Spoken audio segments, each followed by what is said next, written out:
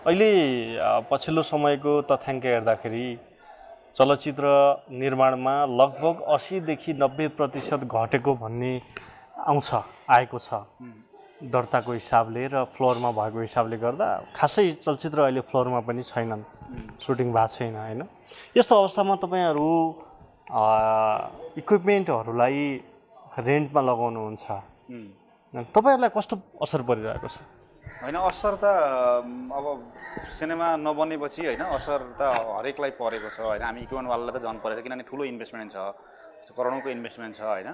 अब चलचित्र बन्छन् र चलचित्र बनिसकेपछि हामीले रेन्टमा लगाउँछौँ र केही बेनिफिट हुन्छ भनेर व्यवसाय सुरु गर्ने हो होइन। जहाँसम्म लाग्छ अहिले जस्तो अहिले फिल्म नब्बे अहिलेतिर पन्ध्रवटा जति सिनेमा चाहिँ लगभग लगभग फ्लोरमा हुनुपर्छ।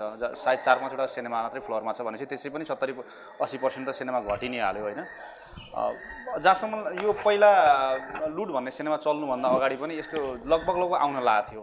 होइन? एउटा के क्रान्ति हुनको लागि चाहिँ कुनै न कुनै आन्दोलनको जरुरी छ भन्छन् नि। त्यस्तै फेरि कुनै एउटा टर्निङ पोइन्टको लागि चाहिँ यो भएको हो कि जस्तो मलाई फिल हुन्छ। र अर्को कुरा भनेको व्यवसाय गरेपछि सिनेमा नबन्ने बित्तिकै त हामी भनौँ न प्रफिटमा जाने होइन र हामी चल्न चाहिँ सामान्य बामै छरिरहेछौँ चलि चाहिँ रहेछौँ भोलि गएर अब सिनेमा बन्ने गऱ्यो भने प्रफिट त पछि हो कुरा। अब त्यसरी असी नब्बे प्रतिशत घट्दाखेरि त होइन थुप्रै हुनुहुन्छ इक्विपमेन्टहरूलाई।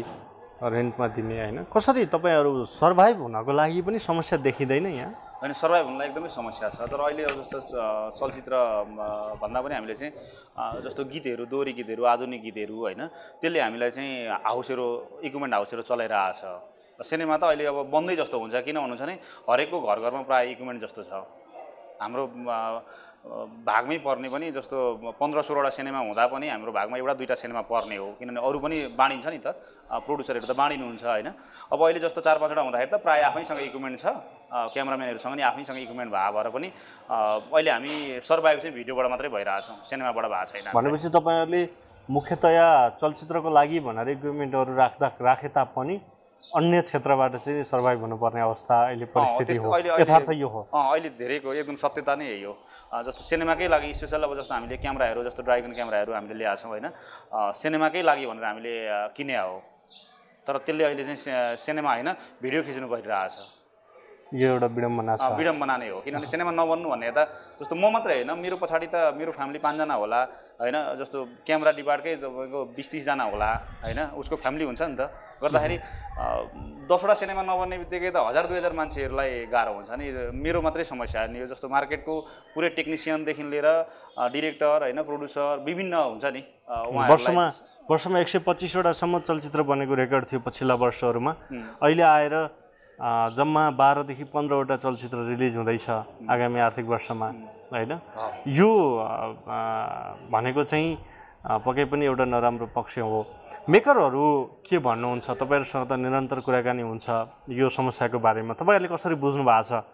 होइन यस्तो छ। अब मेकरहरू छ नि मेकरहरू पहिला र अहिले सिनेमाको बजेट नै धेरै फरक पऱ्यो जस्तो मैले सडसठी सालमा होइन नेपालको स्टार ज जसले त्यतिखेर चाहिँ सिनेमा इन्डस्ट्री बोकेर हिँड्थ्यो जस्तो निखिल उप्रित दाईहरू होइन सुशील छेत्रीहरू सन्चिताहरू होइन मैले उहाँहरूलाई राखेर सिनेमा बनाउँदाखेरि उहाँहरूलाई राखेर सिनेमा बनाउँदाखेरि पचास पचपन्न लाखमा अनि सिनेमा बन्थ्यो होइन।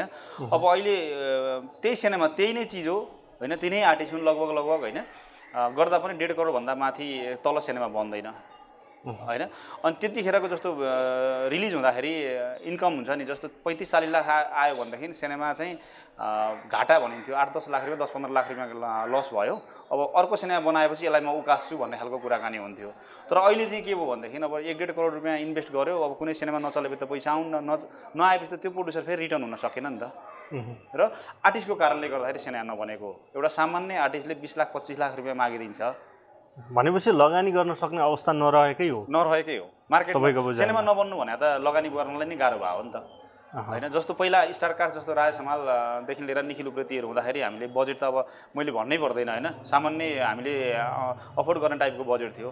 अहिले एउटा सामान्य आर्टिस्टलाई मैले लिन गएँ मैले सिनेमा बनाउन लागेँ अब मेरो सिनेमा खेल्नु पऱ्यो भनेर म गएँ भने पच्चिस लाख बिस लाखबाट सुरु हुन्छ जो कि उहाँहरूको सिनेमा चाहिँ मार्केटमा अब चलेको भए सिनेमा चलेको भएदेखि त अहिले सिनेमा त निरन्तर बनिहाल्थ्यो नि।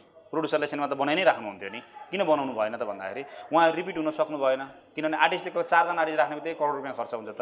कसरी उहाँहरूले सिनेमा बनाउन सक्नुहुन्छ? त्यो हिसाबले नबने हो अब के गर्नु पर्ला तपाईँको सुझाव?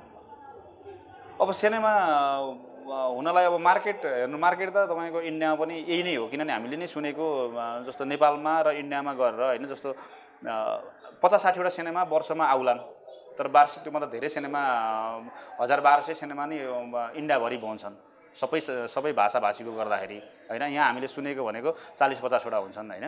त्यस्तै हाम्रो सिनेमा पनि जस्तो आठ दसवटा चल्ने हो अरू नचल्ने हो भन्ने चाहिँ हो होइन? वर्ल्डमै त्यही हो।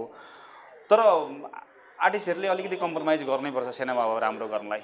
मेन आर्टिस्ट नै अहिले अहिले देखेको र आर्टिस्टकै प्रब्लम देखिरहेको छु। मैले अरू केहीको पनि प्रब्लम होइन होइन? होला डिस्ट्रिब्युसनको आफ्नो समस्या होला हलवालाको आफ्नो समस्या होला त्यो त समस्या भनेको आजभन्दा दस वर्ष अगाडि समस्या थियो होइन? एउटै हलमा चलेर पनि अ, अथाह पैसाको हाम्रो इतिहास छ होइन? तर अहिले चाहिँ मेरो मुख्य कारण भनेको चाहिँ सिनेमाको बजेट हाई हुनुमा आर्टिस्टहरू नै मुख्य कारण हस् thank you so much. A complete bundle of art, information, and entertainment. NKTV.